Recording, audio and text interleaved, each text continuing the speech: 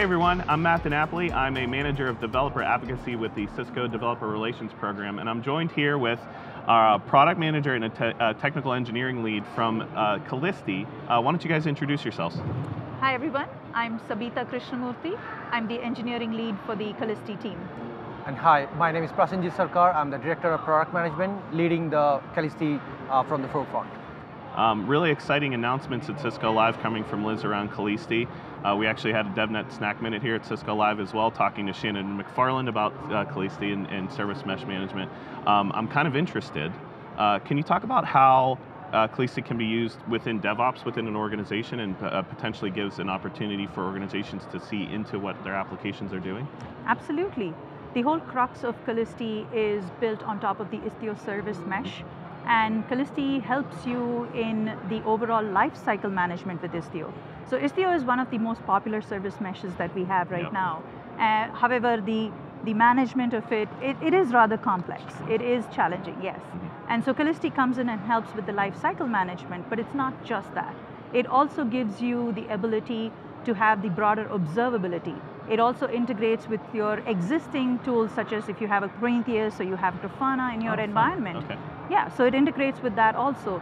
So you now have a holistic view of what's happening. You can drill down into every workload, look at the traffic, look at what's going on, down to the protocol levels, and see is this HTTP, you know, gRPC, what kind of traffic is going on. It also gives you the security element. So you are able to now do MTLS between oh, your individual workloads. And so it gives you a one pane of glass to get lifecycle management, to get observability, to get security, it's a whole it's a whole deal. so does uh, for the MTLS part, does it actually um, allow us to not just observe what's going on across MTLS, but uh, set it up and configure it as well. Oh yes, wow, that's yes. such a pain. in, exactly. In, oh my goodness, that's so yes. fantastic. Okay. Yeah. So Calisti allows for that, and this is you know again you can do this through the UI. You can also do it through a CLI. There's also a GitOps integrated workflow, oh, okay. which Prasenjit covered yesterday yep. in his breakout session as well. Oh, fantastic. Um, so that kind of covers the DevOps part, but I feel like there might be a little bit of a developer bend to this as well, because I know Cisco's trying to put out these yeah. more DevOpsy than hopefully up to the enterprise developer tools. Um, right. Is there something that we can see in Calisti that developers, Absolutely. pure developers might see? Absolutely. so we value? created this API for a strategy for Calisti. Oh, and if you look at from Calisti's dashboard or Calisti's standpoint from the single pane of glass, we do have a GraphQL interface uh, that is okay. absolutely fantastic and the documentation is inbuilt within the dashboard itself. So you don't, your learning curve just to about to get to the you know, point that I can use the GraphQL even to do something more jazzy on that Istio service mesh is pretty easy, right? Yeah, yeah. So that's just about one point that you talked about. The second point is developer does not like toil.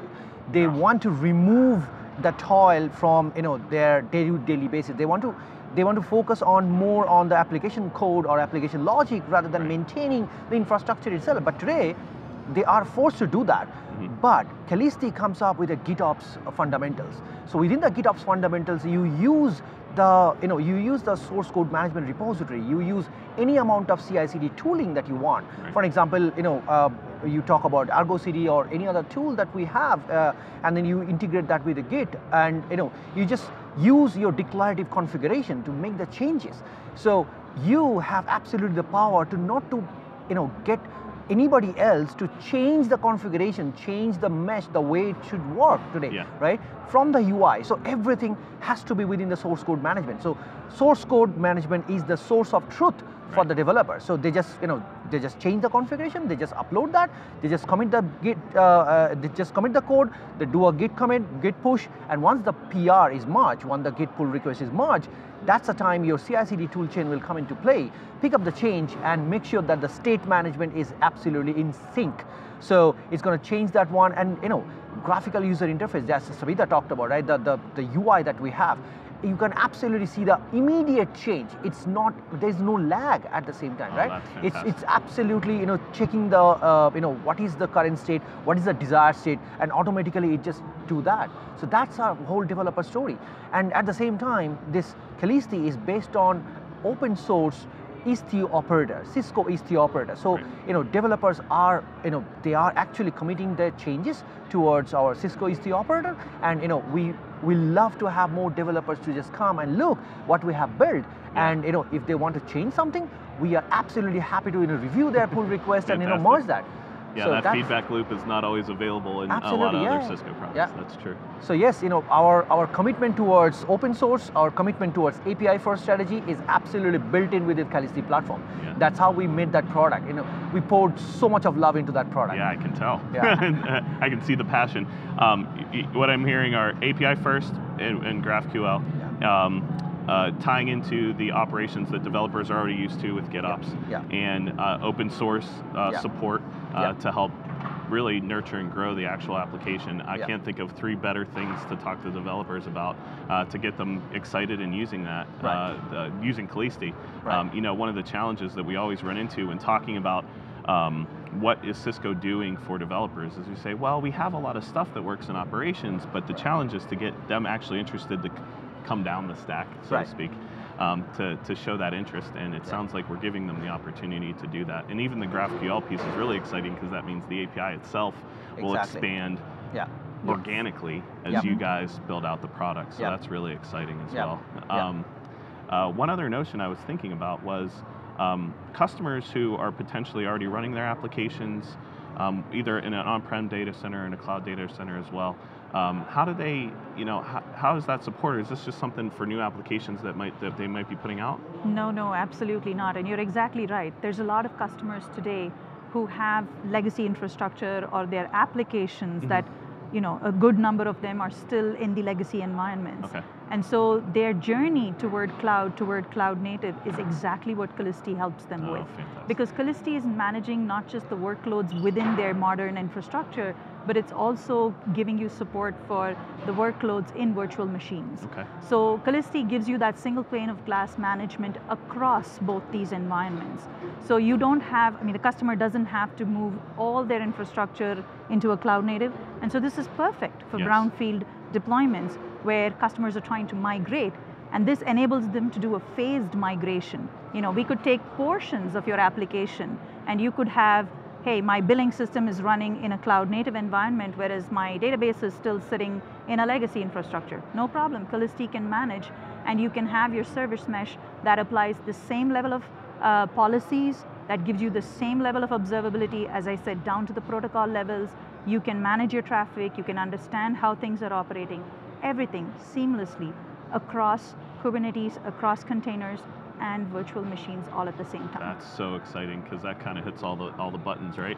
Um, I'm curious before we guys before we let you go. Are there are there any other differentiators that that maybe we can talk about around Calisti? Absolutely. So we are bringing the industry's first asynchronous and synchronous messaging together in a Oh. one single platform. Okay. So Calisti is not only going to manage the synchronous messaging applications, which is in a traditional world you have seen, but the asynchronous messaging plat- platform as well. So in the asynchronous messaging platform, we provide Apache Kafka to run on top of the Istio control plane.